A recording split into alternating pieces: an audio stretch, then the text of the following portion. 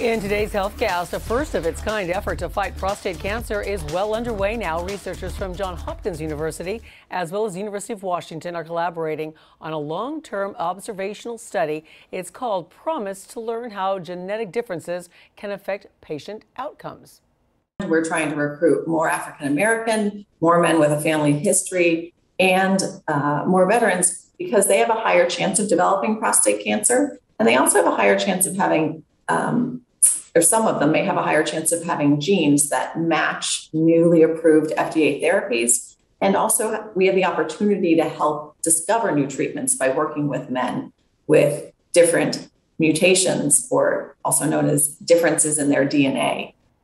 And for more information on this study, look for the story in our health section of local10.com.